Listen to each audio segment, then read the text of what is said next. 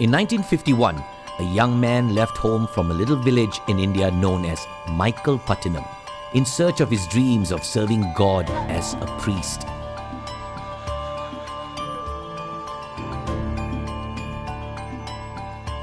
At a tender age, he left his family, his relations, his friends, and all the villagers whom he grew up with to answer the call of God to serve him.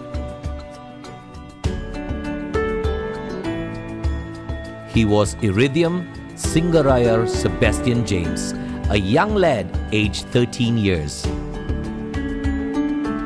His pastoral journey took him to the city of Medan, Indonesia, the home to Graha Maria Annai Velangkanni. Known for its unique structure and healing powers, it has become the icon of Medan. It is hard to believe that this magnificent structure was conceptualized and built by one man. This is the miraculous story of how the young James, now known as Father James Bharataputra, fulfilled God's dream of building Graha Maria Annai Velangkanni in Medan.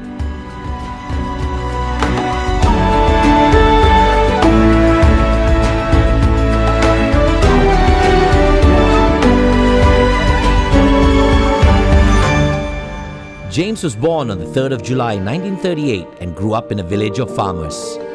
He received his early education in Machilpattinam, located approximately 40 kilometers from Madurai, Tamil Nadu, India.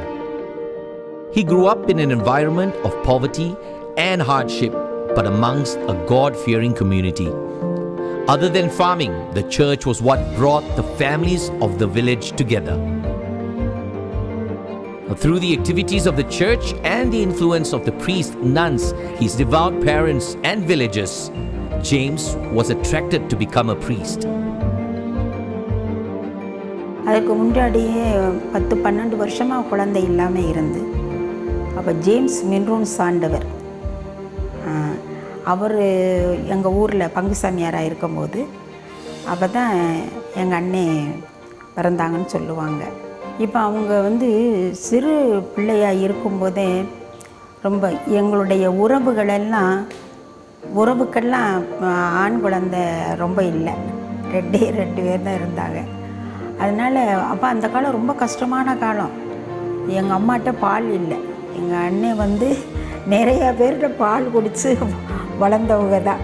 அதனால் அவங்க சொல்லுவாங்க அதனால் கடவுள் என்னையை எல்லா நிலையிலையும் சமாளிக்க தெரிஞ்சு வச்சுருக்காரு அப்படின்னு சொல்லிட்டு சொல்லுவாங்க ரொம்ப சிரிப்பாக ஆனால் இது இந்த நிலைகளெல்லாம் கூட நாங்கள் ரெண்டு பேர் தான். நாங்கள் ரெண்டு எங்களுக்குள்ளே என்ன குறுகிய நாள் தான் நாங்கள் வீட்டில் இருந்த நாட்களாக இருக்குது. அப்போ அப்படிப்பட்ட சமயத்தில் ரொம்ப பாசமாக இருப்பாங்கன்னு அவங்க பாசத்தை வெளிக்காட்ட மாட்டாங்க. அப்புறம் யார் வந்து என்ன அநீதி இழைச்சாலும் சரி வாங்கினது நிறைய பேர் அபகரிச்சிட்டு போயிடுவாங்க பண்ண திருடிட்டு போயிடுவாங்க என்னென்னமெல்லாம் நடக்கும். ஆனால் அதெல்லாம் கூட அதையும் தாண்டி சரி ஏதோ கடவுள் அவனுக்குன்னு வச்சுருந்துருக்காரு. சரி சரி விடுங்க. அது வந்து கடவுள் பார்த்துக்குருவார் அப்படிங்கிற சொல்லக்கூடிய சூழ்நிலை தான் இருக்கும். ஒரு மாதிரி ரொம்ப கோபமாக பேசி அவனை வரக்கூடாதுன்னு தடுத்து அந்த இதெல்லாம் அவகிட்ட பார்க்கவே முடியாது. The young James left the village after Standard 8 as there was no secondary school in the village. James attended the St. Mary's Higher Secondary School in Dindigul. While studying in St. Mary's Higher Secondary School, James was in contact and became popular with the Jesuit priests, teaching in schools and the American missionaries who came to study Tamil so they could serve in Sri Lanka. James was impressed with the strength of the faith of these missionaries who had left their homes to come to an unknown land to spread the good news of God in a language that they were not familiar with. This inspired James further to not only become a priest, but a Jesuit priest. Having mixed with the Jesuit priests, missionaries, and having studied in a Jesuit school, he appreciated the Jesuit way of life, their spirit, dedication, and the special qualities they possessed. When asked why he chose to become a Jesuit, he answered, Their way of life inspired me to be one of them. In 1955, after completing his 12th standard, he went to St. Joseph's College in Trichy to do his intermediate studies before he was accepted in 1957 as a novice at Beschi College, which is now known as Beschi Illam. After two years of rigorous training, he underwent another one-year training at the juniorate in Sacred Heart College, Shembaganur, Kodaikanal in 1959. He then went on to do his degree at Loyola College, Madras, and graduated with a Bachelor in Economics in 1963. He returned to Shembaganur to begin and complete his studies in philosophy for a further three years from 1963 to 1966. He was then posted to Kuala Lumpur, Malaysia. 1966, I got the permission to go and do my one year pastoral service in Malaysia. That's when 1966, I arrived in Kuala Lumpur and Bishop Madagan asked me to look after the Indian communities living in the estates. So I served three parishes, Central Parish and St. Joseph's Church in Central Parish. Fatima Church in Brickfields, and Assumption in Petalinga. One year I served teaching catechism, instructing people and so on. When Malaysia did not want the missionaries to come to serve the Malaysian uh, church, I was refused the permission. So God took me instead of uh, going back to India, He took me to Indonesia James was offered to continue his studies in theology at the St. Paul's Seminary in Yogyakarta, Indonesia. However, he did not get to complete his studies in Yogyakarta due to unforeseen circumstances. He returned to India in 1969 to complete his studies in theology at St. Mary's College, Kurseong, Darjeeling. Father James was ordained at Machilpattinam on 27 December 1970. When he came after his ordination for the first Mass, that's the first time I met him. And uh, the kind of celebration that they had in the village, that attracted me very much. The first appointment came from a superior saying, we tried our level best to get you back to Malaysia. It looks impossible. But there is a demand for you in, from Medan. The Archbishop of Medan was asking for help. So we have decided to lend you to the Archdiocese to work there. That is how I landed in Medan.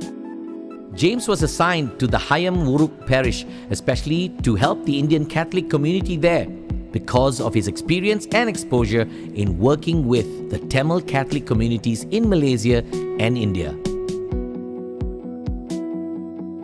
For a few months, I studied their situation and noticed that they have been there for more than 70 years, but the life has not improved. Not many have uh, gone through the schools. Of course, during the 60s and so on, in general, Indonesia did not have that much of education for the children. So, so I thought of starting a school mainly for the Indian community, but for any other poor people can join. In 1973, with God helped me through generous souls uh, to collect some funds, and I founded a school, primary school, in the name of Karya Dharma. The real challenge facing James was to improve the ghetto situation in Kampong Kristen. The first thing that he did was to educate them.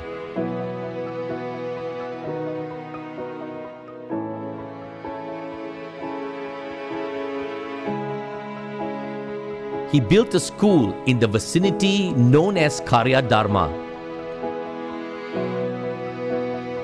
After three years in Medan, he then went for his tertianship, which is the last phase of Jesuit training to Colombiere College in the United States from 1975 to 1976. He returned to Malaysia after completing his studies and pastoral work to take his final vows at the Church of St. Francis Xavier Petalingjaya in 1977, the same church where he began his pastoral duties in Malaysia. In 1978, he went back to Medan and started a project to relocate the families so that they would find suitable employment elsewhere. As long as they are going to live in that village, they can never improve their lives. They have to be spread out, live along with the other people, then see how they work for their living. Then that way they will have the spirit to come up in life. So I thought of uh, buying a piece of land to away from the city and asked whether they are willing to shift. I will build some houses and anybody willing to go there, I will give it free of charge. Nobody wanted to come because they were afraid going out of that place is like a fish out of water, no? They have to find their life difficult and so on, they refused. So they came to me, if you give us houses close to the city, and we are ready to move. So about eight people, eight families came. Then I bought a piece of land close to the, the, the outskirts of a city, new city, built houses and gave them. Then when they shifted, I pulled down all the houses so that they may not come back again. Then afterwards, they were so much of opposition. They thought what I'm doing was uh, disfavor them, disservice to them. I've been happy with their situation as they were, as it was. Now I'm coming to ask them to move and try to come up, they did not cooperate. So I had a lot of difficulties, even people did, you know, disliked and so on. So finally, the bishop thought, I think you have done enough. Hmm? I will shift you to Banda Aceh, at Aceh. You go and uh, work in Banda Aceh. So in 1983, I left, this, uh, gave the, the land I bought to the, to the bishop then the school, everything to the bishop, I went to Chandigarh. Despite facing many challenges due to the political turmoil in Aceh at that time, James spent eight successful years promoting education and carrying out his spiritual mission. He built multiple kindergartens and schools in various districts in his parish. Towards the end of his mission in 1991, he was conferred the title Teuku by the Acehnese authorities for his contributions.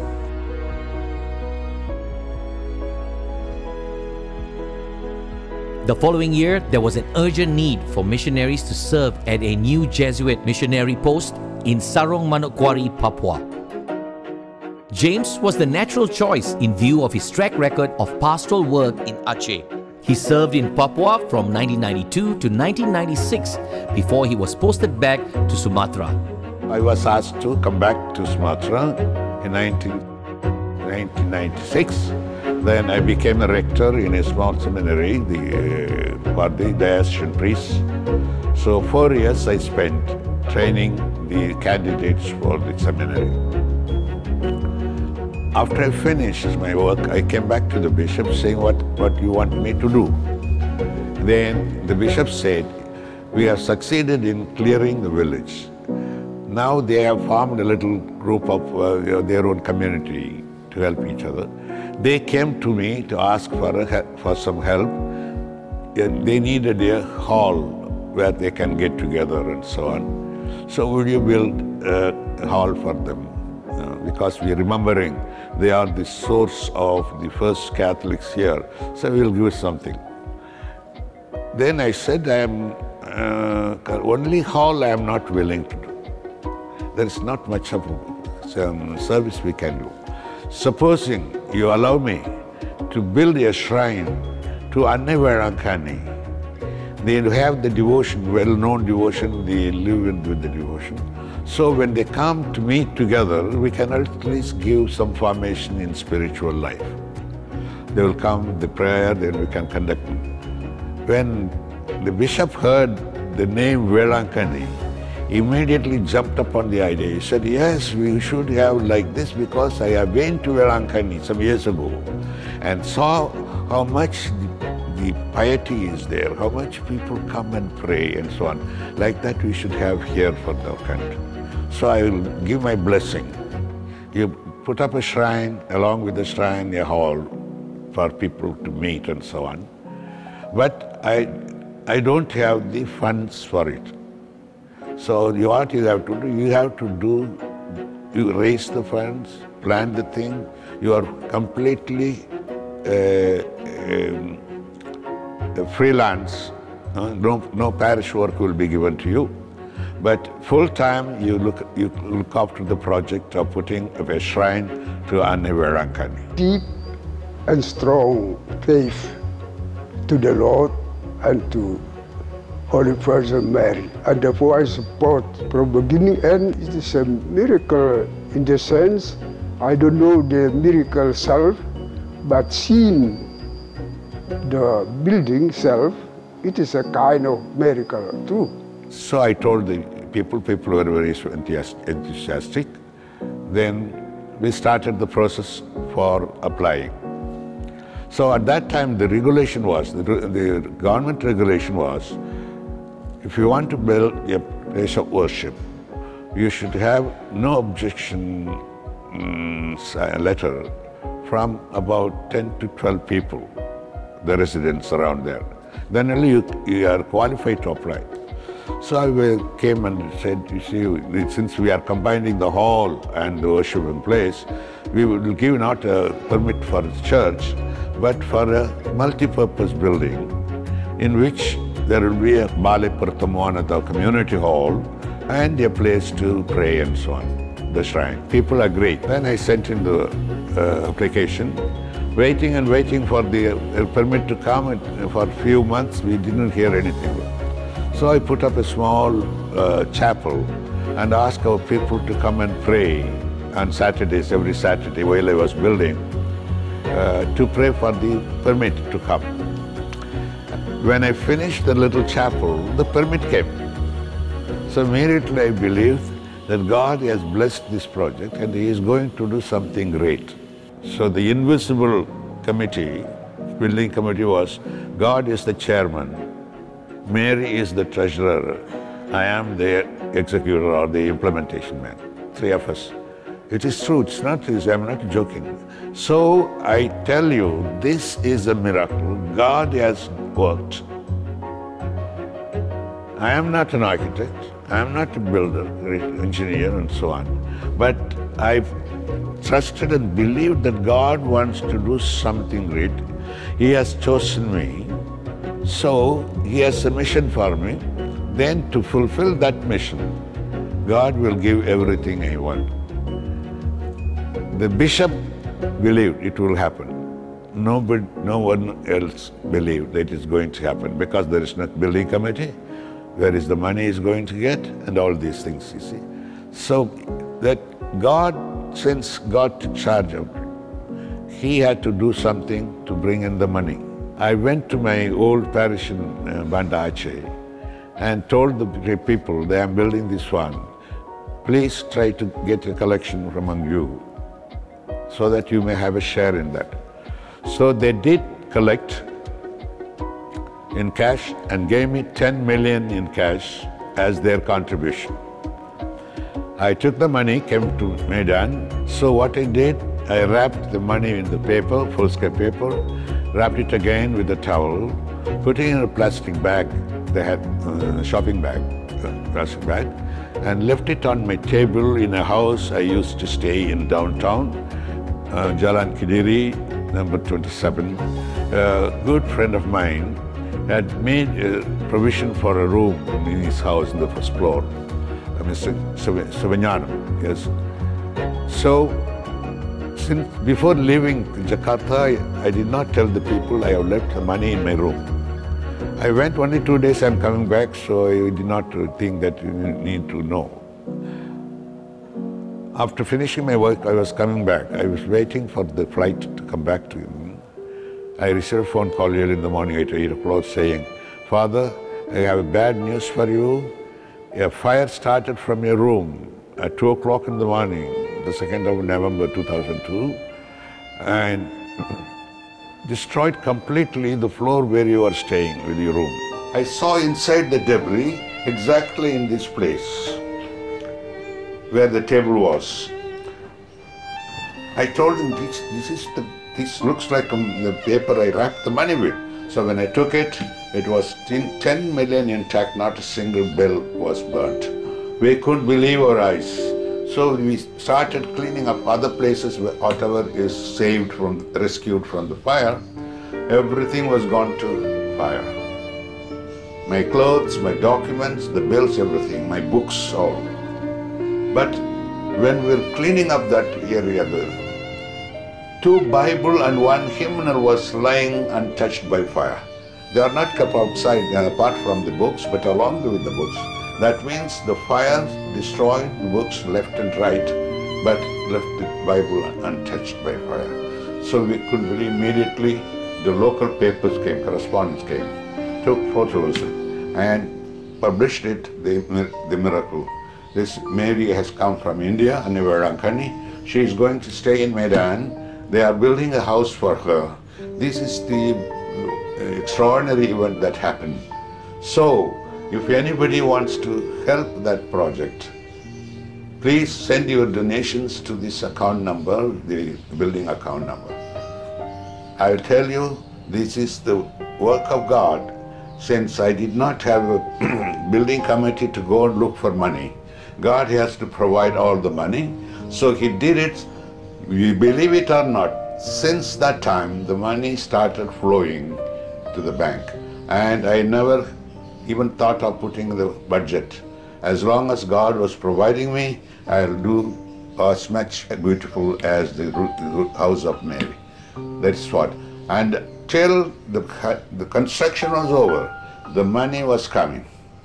One day at the end of the construction, when the church was blessed, I knew how much God sent through the bank. Half a million US dollar to complete his work. As soon as the church was blessed, immediately after a week, the money stopped coming. God provided all that I needed.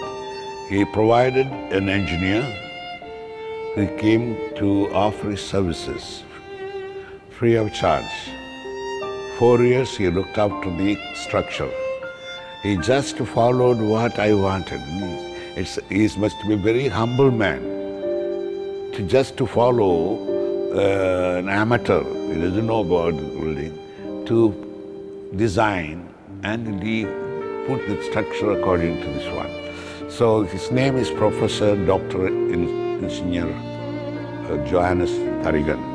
He's a Catholic doctor. He's a professor at the Sumatra, North Sumatra University, in the Catholic University student. He's an expert on anti-earthquake buildings. Kami sebenarnya sudah kenal Faktor James sejak 40 tahun yang lalu. Tapi saat itu saya masih kecil di satu gereja namanya Hayamuruk. Tetapi setelah 15 tahun yang lalu kami ketemu lagi dipertemukan oleh namanya Pastor Anthony Fazoli di mana saat itu kami juga membangun gereja di Santo Franciscus Assisi dan kami kenalan lagi dengan Pastor James. Nah saat itu dia kasih konsep gambar. Nah pada saat itu gambarnya itu kecil, hanya seperti kuil kecil, terus ada geraha yang kecil. Tetapi setelah berjalan waktu, pastor selalu mau lebih besar, ya, lebih besar, lebih besar, lebih besar. Dan pada saat itu saya tahu persis pastor nggak ada uang. Ya gimana nanti kita bangun pastor? Nggak usah khawatir katanya. Nah setelah itu kami eh, gambar yang lebih besar lagi. Nah sebelum jadi kami jalan ke India. Pastor punya in- inspirasi saya mau seperti di India. Nah kami jalan ke Madurai, jalan ke Trichy, jalan ke Chennai. Nah, yang terkesan itu di di Madura itu ada suatu oh, kuil yang besar. Nah, itulah simbol yang di atas itu. Ya, ada tujuh langkah uh, step ya kan. supaya menuju surga seperti itu. Nah, sepulang dari India kami finalkan ini project dengan Pastor James uh, dengan uh, tim seadanya karena waktu itu panitia juga nggak nggak bisa berbuat apa-apa uh, uangnya juga nggak ada tapi dengan inspirasi dari Pastor James dengan uh, uh, memberikan penjelasan kepada umat baik di Indonesia maupun di Malaysia maupun di Singapura rasanya sih jadinya seperti ini seperti itu. Nah ini kami hitung dengan waktu itu ada gempa di Aceh tahun 2000 oh, 2004 ya kan. Nah ini bangunan nggak apa-apa ya kan. Terus kemudian ada gempa yang besar lagi di uh, di Nias itu juga nggak apa-apa. Jadi tahan bangunan ini sudah ditahan, sudah diuji.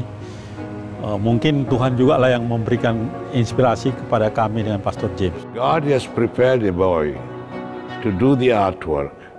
God brought him to me, me, and I found in him the talents to paint and do little uh, toys and so on. Immediately I used him to beautify this building with ornament, paintings, uh, the, the sculpture, uh, the murals and so on, everything was, you won't believe the whole thing that is in this uh, Graha Maria is single voice work. I did not employ anybody else. Alone he did. So all these things show this Graham area is not an ordinary place. It is God's own chosen place. Pertama kali saya kenal Father James melalui suatu lukisan di triplek untuk dihadiahkan pada ulang tahun Bunda Maria. Kemudian beliau bertanya siapa yang melukis. Dia menyuruh orang yang datang kemari. Barulah saya berjumpa dengan Father James. Kemudian Father James menyuruh saya membuat suatu patung malaikat sebagai bahan percobaan. Dari itulah pekerjaan berkembang terus-menerus sampai sekarang. Untuk lukisan di langit-langit dari ujung ke ujung memakan waktu enam bulan. Patung-patung, satu patung sekitar satu minggu. Saya mulai bekerja di Pelangkani ini sekitar umur 21 21 tahun. Tempat ini sangat sakral artinya suci dan kita kalau datang kemari bisa menenangkan jiwa kita, hati, pikiran, perbuatan kita pun berubah. After years of hard work, the magnificent church was planned, designed, and built through divine providence. God guided James every step of the way. Annai Velangkanni was by his side too. In the words of James, I am just a small chisel in the hands of God, the master sculptor. I was brought by God as a missionary to proclaim the good news to these people. I am not going to be living all the time. So I thought, supposing I could build a church with, which contains the message I wanted to explain, it will take my place even when I'm gone. For that, one of the beautiful prayers of St. Ignatius helped me. I am a Jesuit father, so we were trained in, in the exercise of spiritual exercise of Ignatius. And we have to do a daily meditation and contemplation. So for the past almost 40, more than 40 years, I have been contemplating the, uh, the mystery of God becoming man and saving mankind, and now He is in glory, how He is going to come back at, the end of time, all this. So I, that flashed as an idea to be executed in the architecture. So I took that, then followed word by word what Ignatius says in that one. And then I started developing that idea. That means I had to make this church as a symbolic church. Through symbols, it must explain the message it contains. So I thought heaven and earth meet here.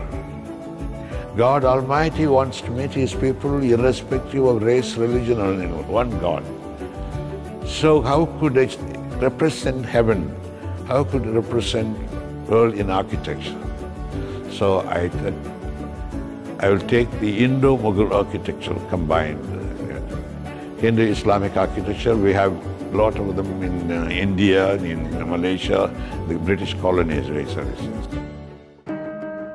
The church entrance is styled very much like the Rumah Adat of the Bataks. The sculptures of people of different races and cultures on the walls surrounding the Graha Maria symbolizes unity and is a sign that everyone is welcome to the Graha Maria Annai Velangkanni. The asphalt road at the entrance is in the shape of a man. It depicts that man enters this shrine in his darkness, sinfulness, and ignorance, and comes with his arms outstretched, seeking the glory of God.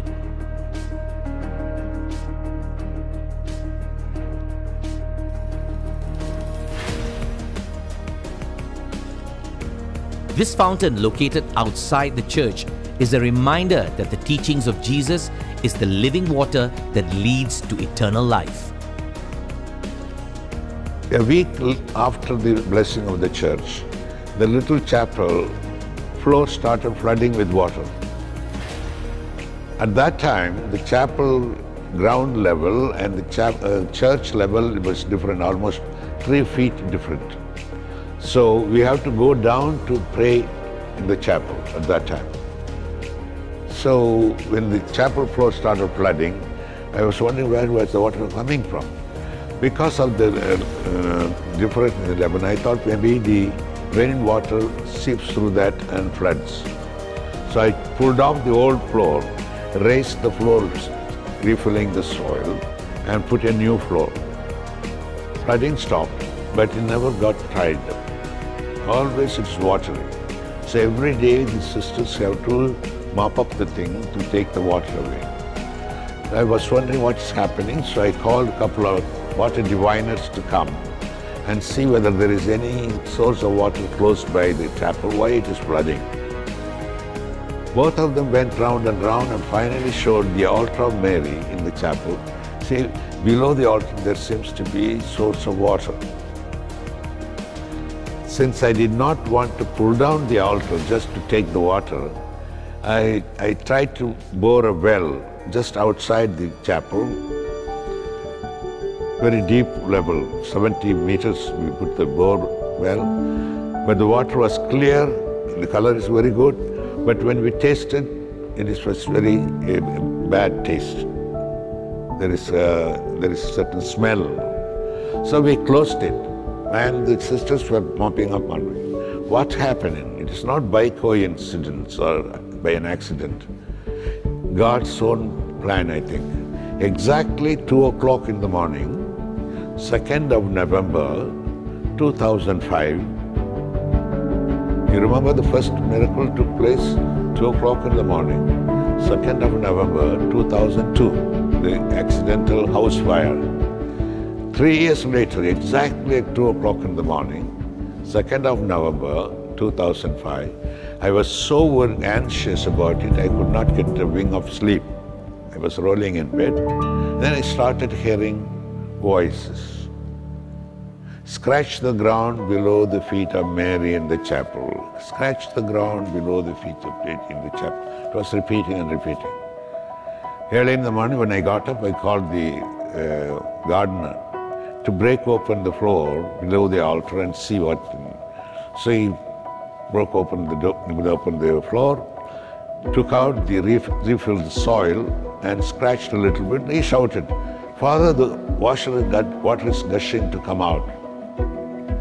Then only realized that was the way, first reason why it was flooding. Still, I was not convinced that it is the spring water, maybe stagnant water. How much volume we can have that water to find out. Asked him to dig a well as deep as four meter. Then the water, well will be filled in water. Several times he emptied the water to see whether it's a, a source of water. When the well is empty, it will fill in, but it will not overflow. it will stop where it showed in the first place. The crystal clear water, no smell. When I tasted, tasted good. Then I believed. God worked this miracle to show that He will be present here for anybody who thirsts in life. Come and He will give living water to him. So God's presence is symbolized in the holy water. So when, when I saw the water is good, before announcing to the people about the discovery, I took the sample and sent it to the water department to have the lab tests. After doing every test, they said it is pure and simple spring water, no contamination found, so you can take straight away even without boiling it. When people heard about it, they came in great number to take water from the uh, uh, spring, that, that uh, altar near the altar. Finally, nobody was praying. So finally, I decided to pull down the altar, uh, push it back, and close the well, and pump the water to the reservoir. Then from there, we direct it to the taps we, at, at the back of the church. The unique ascending ramps leading to the church, similar to the ones in the Basilica of Our Lady of Lourdes in France, symbolizes Mary extending her outstretched welcoming arms to all who come to her. The ramp has a balustrade that is covered with paintings of the creation of Adam and Eve as told in the book of Genesis. The ramp is also lighted with 40 lamps, for those who are seeking God shall not walk in darkness. It also symbolizes the 40 days of fasting Jesus underwent and the journey of the Israelites to the promised land which lasted 40 years. The crosses embedded on the rams seek to remind pilgrims that the quest to heaven is filled with trials and tribulations which must be faced and overcome with penance and charity. The seven story steeple is representative of Hindu architecture, whilst the domes are fashioned according to Mughal architecture. The number seven represents heaven according to the Western, Hindu, and Muslim cultures. The seven stories in Hindu architecture represents the king's dome. A great example is the Raja Gopuram to show that the building is majestic and divine. The three domes represent the Blessed Trinity, God the Father, the Son, and the Holy Spirit.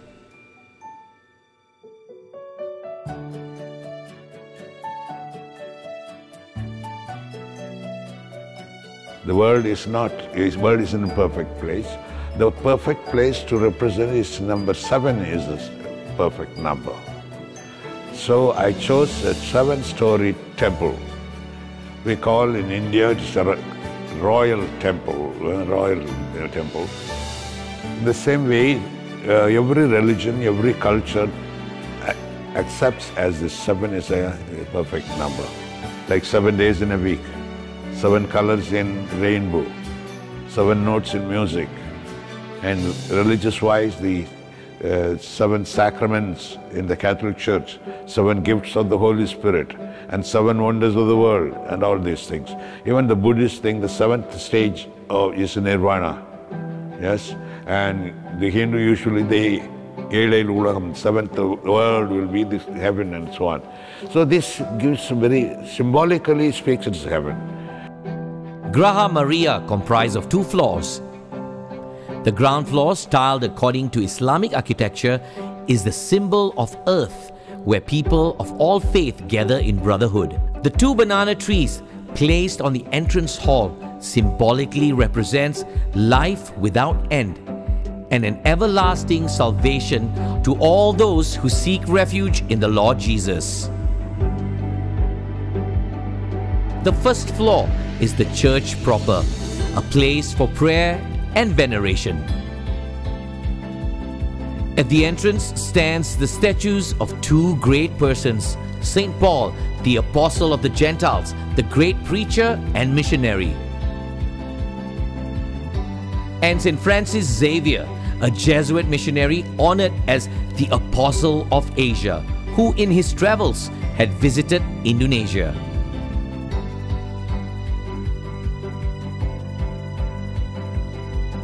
The whole church rests on 12 columns. This is a symbol of Christ's church that was built on the foundations of the 12 apostles. On the top of each column, the statue of one of the apostles is standing as its guardian. The beautiful paintings done by the young man Andreas decorate the entire interior of the church. The eight steps ascending to the altar symbolize the eight Beatitudes, the eight distinctive sayings of Jesus in the Sermon of the Mount, Matthew chapter 5 verse 311. These Beatitudes are written on the wall of the altar in different languages.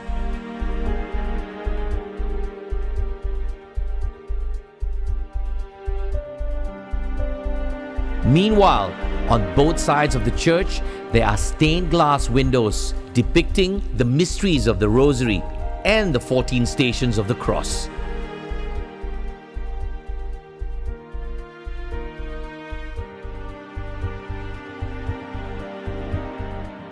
The colors of the church were also God inspired and represents the journey of man from darkness to the glory of God. There are seven colors, which is the same as the rainbow. This monument was built in commemoration of the late Pope John Paul II, who died in 2005. The world has known him as a person who was much devoted to Our Lady. To give a little sense of uh, a mini pilgrimage to the Holy Land, so first we say if you want to meet Jesus, you have to go to Bethlehem where he was born. So I made a miniature Bethlehem with children's park there that you will see there. Then once you see meet Jesus at Bethlehem, Jesus tells his the pilgrims, Why don't don't you remember I promised you I am with you in the church? So go from Bethlehem to Rome. Rome represents the church, uh, Church of Christ in, uh, uh, for the Catholics. So that also I took a little uh, miniature Roman architecture and built a chapel for John, St. John Paul II. It is a great mon monument for the, the Pope because he visited this area in 1989 when he visited to Indonesia, Medan, and we met him in this district, uh, Medan Tuntungan. Our place is part of the Medan Tuntungan uh, district. So I gave him this as a monument uh, in remembrance of his 25th year of his visit to Indonesia. Then put up the little uh, plaque or the statue in front of the ch uh, chapel. So from there, from Bethlehem, people can go to Rome. He is a great lover of Mary. That's why he is given the uh, title a Marian Pope. So this also helped me say the pilgrimage, lead the pilgrimage. When people visit his, his chapel and pray to him, John Paul will tell them, well, I know you come to me because I know Jesus, but I know there is someone who knows Jesus better than myself. So go to his mother. And the mother will tell you who Jesus is. So he will send from Rome to Nazareth. So the Chapel of Mary is a symbol of Nazareth, where Jesus grew up. So people, when they go and meet Mary and pray to her in Nazareth, Mary will tell, my dear children, my son is in the sacrament, his real presence in the church. Please go to the church to see him, meet him. So the church represents Jerusalem. The replica of the shrine is only made in 2016. I saw in one of the parishioners' house a replica of the ship that was thrown from out of the sea by the tsunami, which was standing on the roadside. So somebody made that replica of the ship so beautifully and he won a prize in the competition in Aceh. So when I saw him, I said, oh, you are a great uh, artist, you can make this. Can you make a, the shrine, as replica of the shrine? Immediately accepted that one, even though he has not come and visited this place. So he said, Father, when you go back to Medan, send me the plan or the blueprint of the thing and some pictures. I will try to construct. So I sent without coming and looking at this. For one year he worked on it tirelessly and created such a marvelous piece. The Graha is dedicated to Our Lady of Velangkanni. This is the story of how the statue miraculously found its way to Medan on the day the foundation stone was laid for the building of Graha Maria Annai Velangkanni. Supposing that is going to be a bigger church, the statue we have in the chapel is very small, not too fitting. So we bought a bigger life-size statue of Annai Velangkanni in Chennai Adayar uh, church and asked my relatives to send it by cargo so that it can come before the putting the foundation stone from India. I fixed the blessing of the little chapel and also putting the laying the foundation stone on the birthday of Mary, 8th of September. Every year the Catholic Church celebrates Mary's birthday. In India also at the same time. So we fixed 8th of September to the chapel to be blessed as well as the laying the foundations. We're waiting and waiting for few months, never heard about the news that the statue is coming. So the, I said, then in that case we will start a special novena prayers, nine days continuous prayer for this intention, so that Mary can come from India for the feast. We prayed and prayed and prayed. When the, pray, the novena was over, no news from India. So people started grumbling, what Father, we did not uh, get our favor and so on. I told them, maybe we know, do know what God thinks about. What we can do is, we can simulate her arrival coming from India to Indonesia by taking the small statue from the chapel, decorated in a sapram, in a car, then bring her in procession from the main road to this place where we are going to lay the foundation stone. Imagining that Mary started the journey already from India and has come to our place. So we put up an open stage, open air stage. There we put a small stool. In case she comes, she will put her there. Everything was fixed. It's Five o'clock in the evening, the procession will start, and six o'clock is the mass. You won't believe. Four o'clock that day, suddenly I received a phone call from the airport in Polonia, that was old airport, saying a statue has come from India, come and collect it. We couldn't be, I couldn't believe my ears.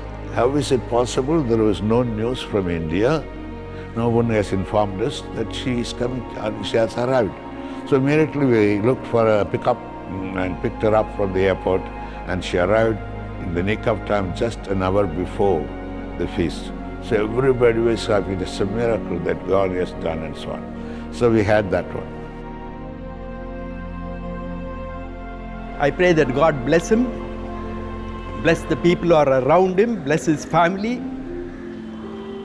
and that God may continue to do great things through him, in him, and for all. எப்படி ஒருவர் வந்து வாழ்க்கையில் ஆண்டுடைய வார்த்தையில் கட்டினாரோ அப்போ அந்த கட்டணம் வந்து அசையாது. ஆண்டு சொல்லியிருக்காரு இல்லையா? இந்த கட்டம் வந்து பாறைமை கட்டும்போது அது அசையாது. வெள்ளம் வந்தாலும் இது வந்தாலும் காற்று வந்தாலும் அசையாது சொல்லும் அதே மாதிரி இவருடைய வாழ்க்கையும் அசையாது நின்று கொண்டே இருந்திருக்கிறது. அவருடைய பணி அவருடைய ஆர்வம் அவருடைய ஈடுபாடு ஆகியவையெல்லாம் என்னை மிக அதிகமாக கவர்ந்தது என்று கூறலாம். தன்னுடைய இளம் வயதிலேயே அவர் மறைபரப்பு பணியிலே ஆர்வம் கொண்டவராக கிறிஸ்துவை அறியாத மக்களுக்கு கிறிஸ்துவை அறிவிக்க வேண்டும் என்ற ஆர்வம் கொண்டவராக அவர் தன்னுடைய சொந்த நாட்டையும் தன்னுடைய மக்களையும் உறவுகளையும் விட்டு பிரிந்து அவர் மலேசியா மற்றும் இந்தோனேஷிய நாடுகளுக்கு சென்று அவர் நற்செய்தி பணி அறிவித்திருப்பது என்பது எங்கள் எல்லாருக்கும் பெருமையாக இருக்கிறது. அதே வேளையில் எங்கள் எல்லாருக்கும் அது ஒரு மிகச்சிறந்த எடுத்துக்காட்டாகவும் இருக்கிறது. இறுதி வரை இறைவனுக்காக சேவை செய்து அவர் நல்ல சுகத்தோடு இருக்க ஒவ்வொரு நாளும் அவருக்காக ஜெபித்து அந்த மக்கள் அனைவரும் இறைவனிடமிருந்து பெற்றுக்கொண்ட எல்லா நல்ல வரங்களை மற்றவர்களோடு பரிமாறி அவர்களும் இந்த மாதிரி ஒரு மிஷினரி வேதத்தை போதிக்கும் மக்களாக வர வேண்டும் என்பதுதான் என்னுடைய ஆர்வம் ஆசை. நல்ல தந்தை இறைவனுக்கு மாதாவினுடைய பெயரால் அவரை வாழ்த்துகிறேன். தொடர்ந்து அவருடைய பணி சிறக்கணும். அவரும் நானும் ஒரே வயது. அப்படி இருக்கிறதுனால அவரும் நாங்களும் எல்லாம் நல்லா இருக்கணும் சிறப்பாக இருக்கணும். மாதாவினுடைய பு புகழை இன்னும் பல வருடங்கள் பரப்ப வேண்டும் என்று தேவ அன்னையினிடத்தில் ஜெபிக்கிறேன். ஆசிரியர் அவங்க எங்கே பணி செஞ்சாங்களோ எப்படி இருக்கணும்னு நீங்கள் நினைக்கிறீங்களோ ஆண்டவரே அப்படியே நீங்கள் காட்டுங்க.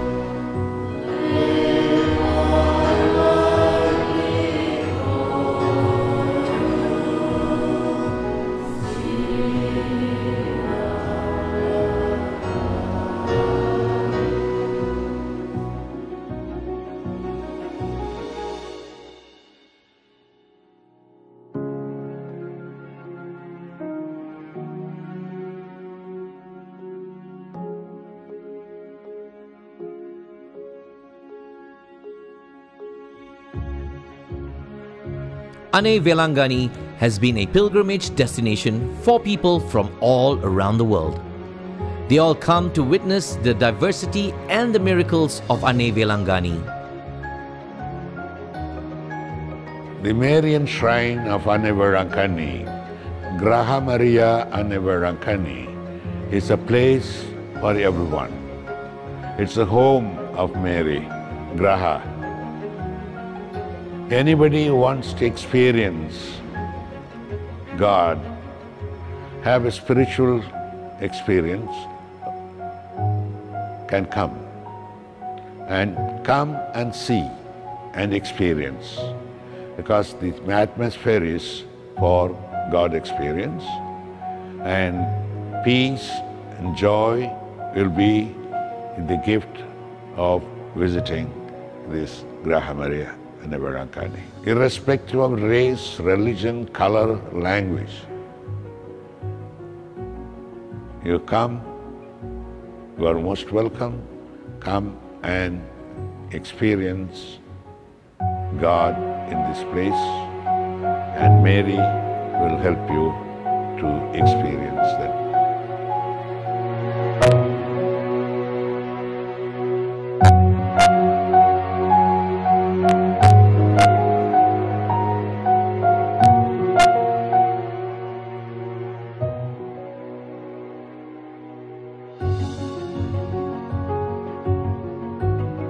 God's dream has come true.